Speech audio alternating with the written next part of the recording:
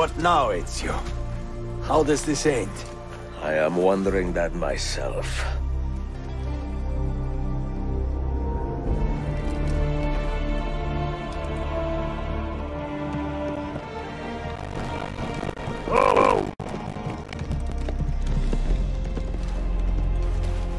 Soldiers! Selim is not your master! You serve the Sultan! You carry out his command alone! Where is he? Where is the Sultan? He stands before you, brother. Father made his choice. Selim! Stop! Please!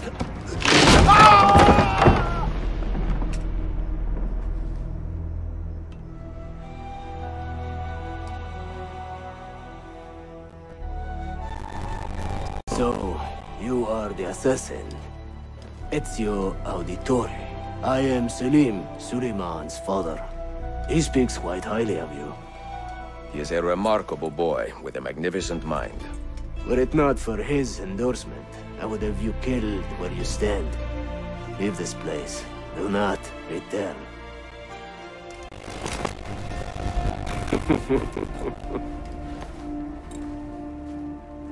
You did the right thing, Ezio. This is not your fight. But where does one end and the next begin?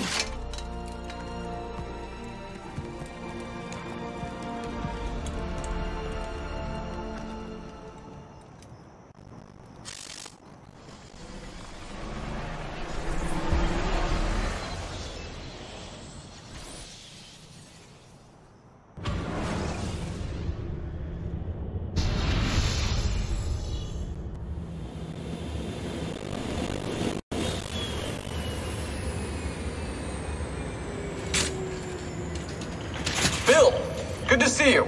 Listen, we've got a customs officer waiting to talk to everyone. I hope you have something for us. Absolutely. Passports and papers for everyone. Ah, brilliant. So I'm, I'm what? A neurosurgeon now, am I? You're a medical team from SUNY Upstate. Just back from Rome with your patient. Experimental gene therapy. Good work. Let's get this over with. Wait, look! This is crazy! What's wrong? I'm not sure, but Desmond's brain is lighting up like a string of firecrackers.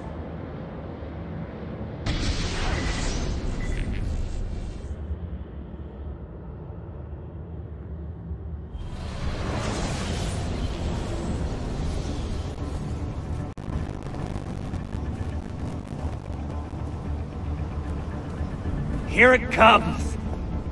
What is that? What's going on? This is the end, Desmond.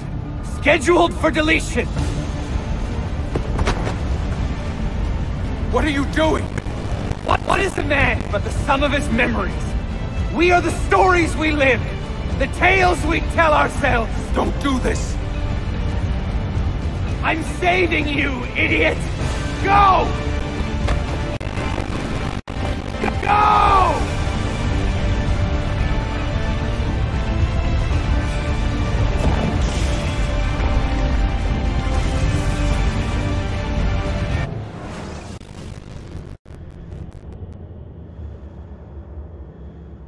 I write these lines with a steady hand and a light heart.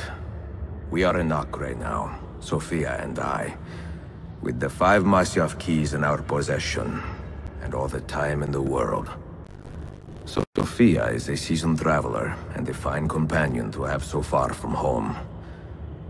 Tomorrow we will make our way to Masyaf, and once there, into Altair's library, to fulfill our father's forgotten dream. Forgive the shortness of this letter, dear sister. For it is late, and we are tired. Perhaps, with luck, the next words you hear from me will be in person. Con affetto, Ezio.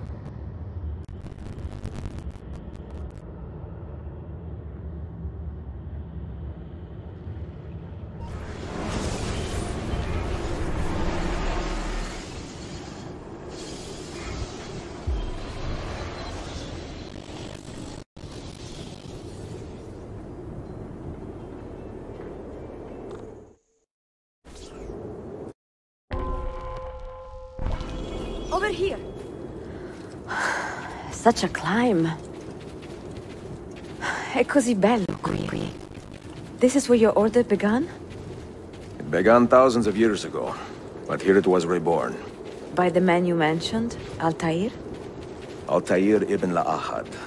He built us up and set us free. He saw the folly of keeping a castle like this.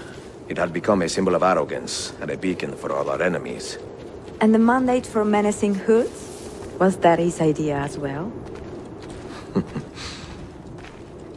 you mentioned a creed before. What is it? Nothing is true. Everything is permitted. That is rather cynical. It would be if it were doctrine, but it is merely an observation of the nature of reality. To say that nothing is true is to realize that the foundations of society are fragile, and that we must be the shepherds of our own civilization. To say that everything is permitted is to understand that we are the architects of our actions, and that we must live with their consequences, whether glorious or tragic. Do you regret your decision to, to live as an assassin for so long? I do not remember making that decision. This life, it chose me. For three decades, I have served the memory of my father and my brothers, and fought for those who have suffered the pain of injustice. I do not regret those years, but it is time to live for myself, and let them go. Let go of all of this. Then let go. You will not fall far.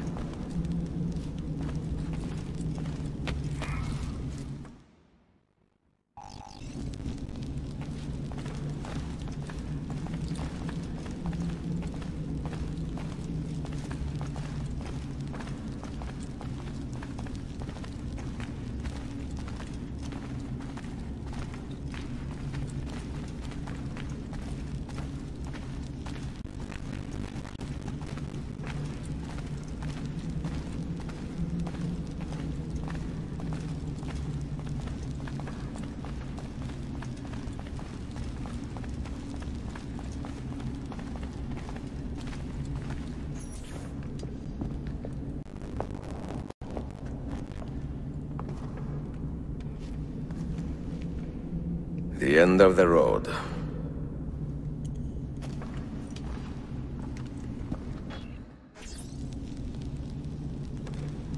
What do you hope to find behind that door? Knowledge, above all else. Altair was a profound man and a prolific writer. He built this place as a repository for all his wisdom. He saw many things in his life, learned many secrets, both troubling and strange. Knowledge that would drive lesser men to despair. Does that worry you? Sophia, you should know by now that I am not a lesser man. Ezio.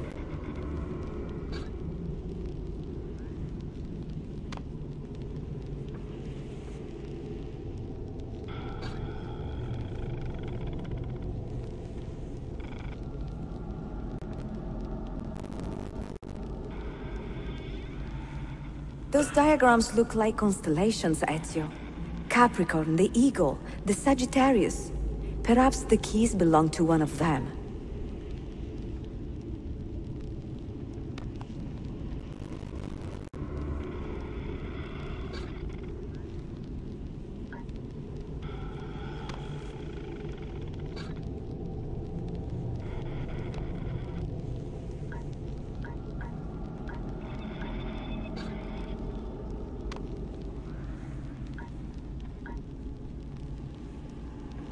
You have five keys, so they must fit a constellation on only five stars, no?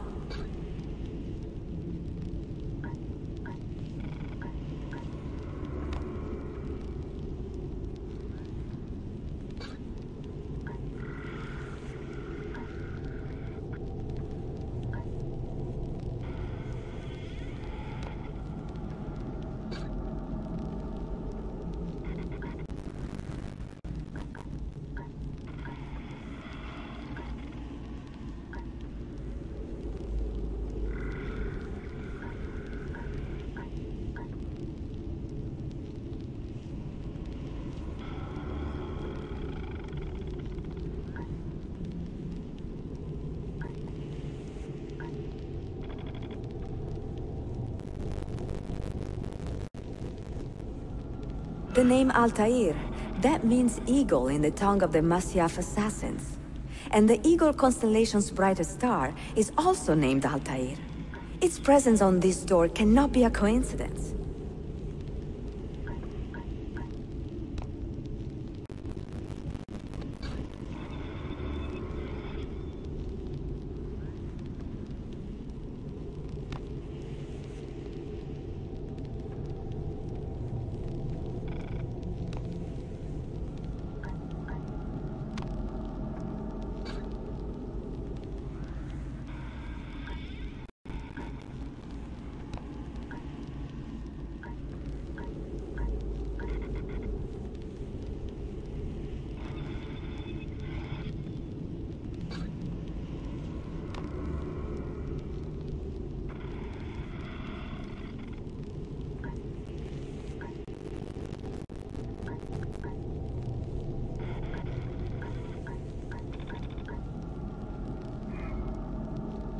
What do you hope to find behind that door?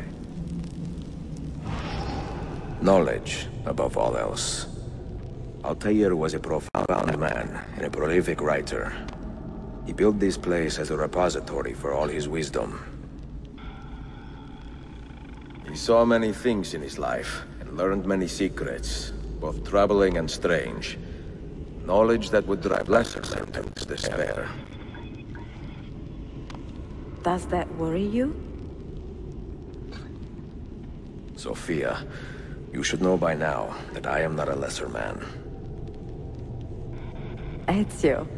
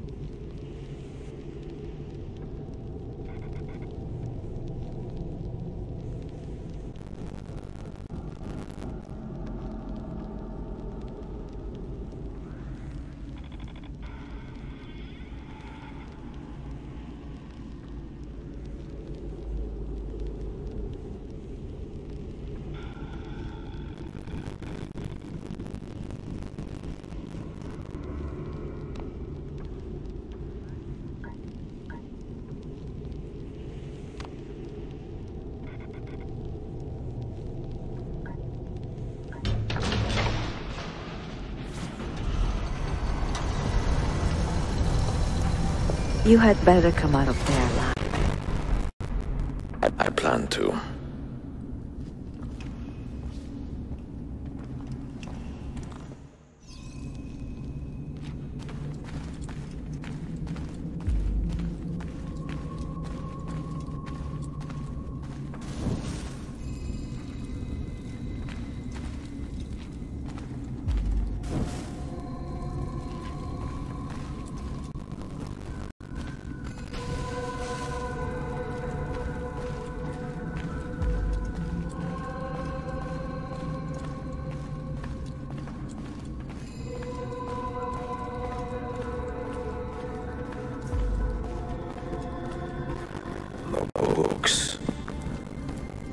Wisdom. Just you, fratello mio.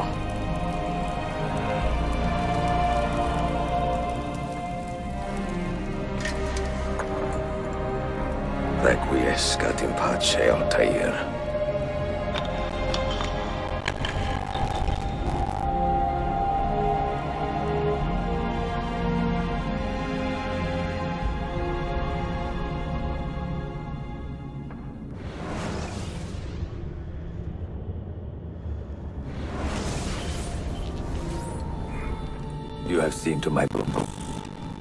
Yes.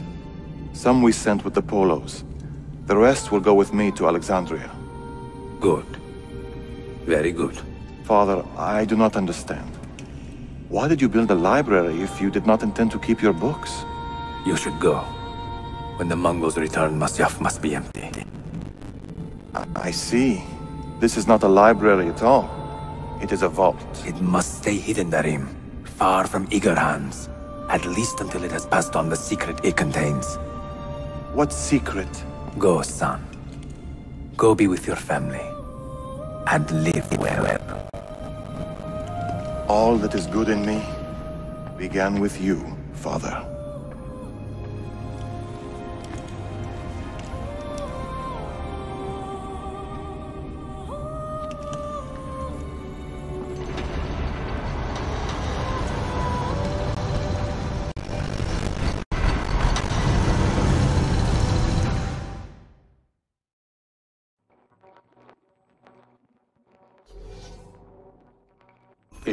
Wisdom is much grief, and he that increaseth knowledge increaseth sorrow. What does that tell you? What do you see? Strange visions and messages of ones who came before, of their rise and their fall. But what happens to us, Altair? To our family? What does the apple say? Ones who came before? What brought them here? How long ago? Get rid of that thing! This is my duty, Maria. Hmm. If you are asked, say I sent the apple away. Tell them I sent it to Cyprus or Cipango or that I dropped it into the sea. Tell them anything to keep men away from this place. This apple must not be found. Not until the time is right.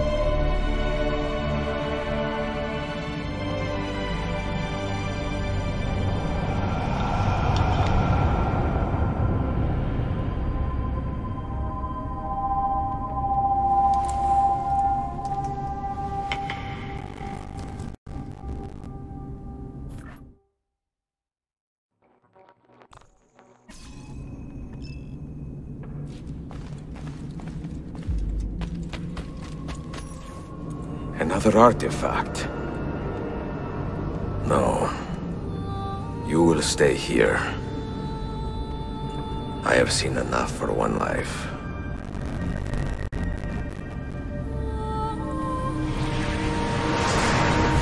Desmond? He's talking to me? I heard your name once before, Desmond. A long time ago. And now it lingers in my mind, like an image from an old dream. I do not know where you are, or by what means you can hear me. But I know you are listening.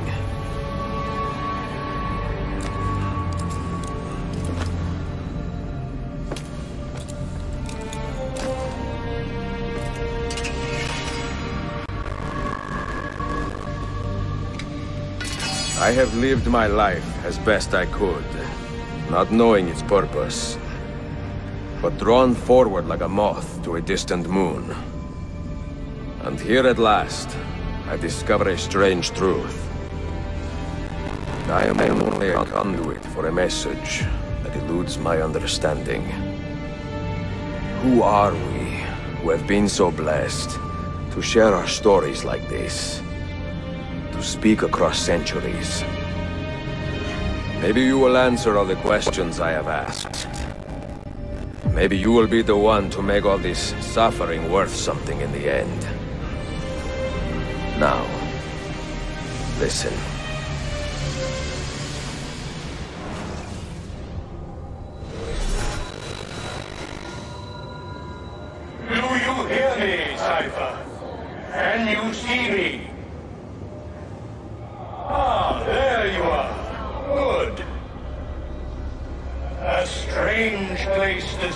Nexus of time. I am not used to the calculations. That has always been Minerva's domain. I see you still have many questions. Who were we? What became of us? What do we desire of you? You will have your answers. Only listen, and I will tell you how. Both before the end and after, we sought to save the world. We built vaults within which to work, each dedicated to a different method of salvation. They were placed underground to avoid the war which raged above, and also as a precaution should we fail in our efforts. Each vault's knowledge was transmitted to a single place.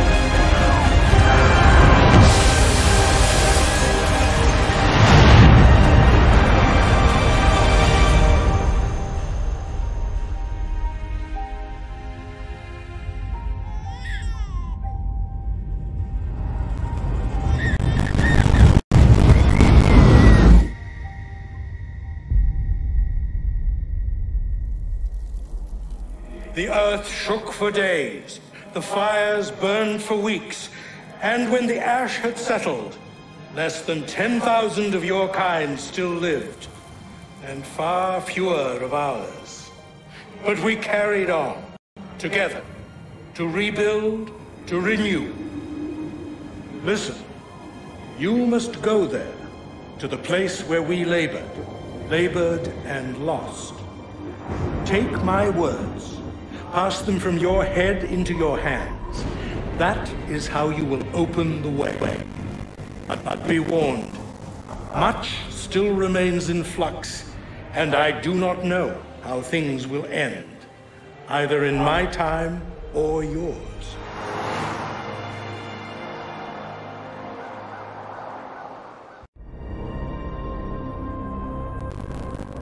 Wait, look, his vitals are stabilizing.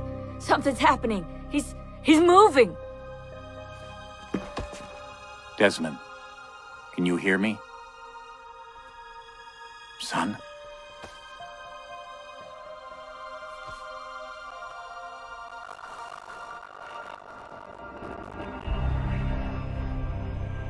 I know what we need to do.